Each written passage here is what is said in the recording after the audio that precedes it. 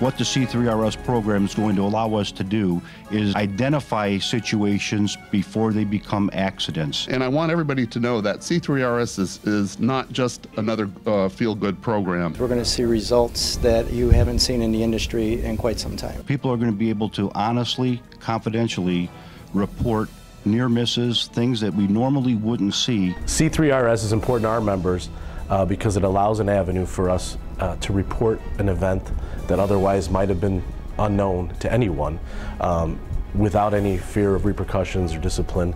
Um, and ultimately, that will lead to a safer railroad.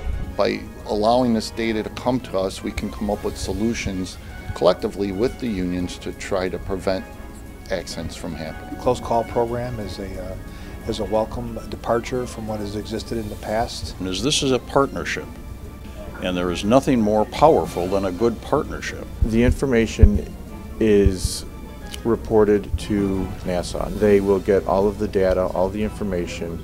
They'll interview the employees involved and they'll scrub that data so much that we will not be able to identify the individual, but we will be able to identify the issue. It's important because it's a step forward for safety here at Metra.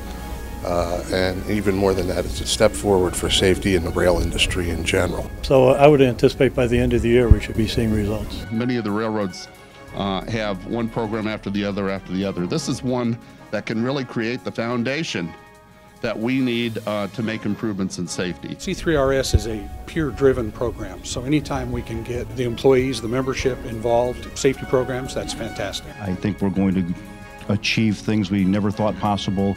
Working together, we can accomplish a lot of things. Rail safety is number one to all of us.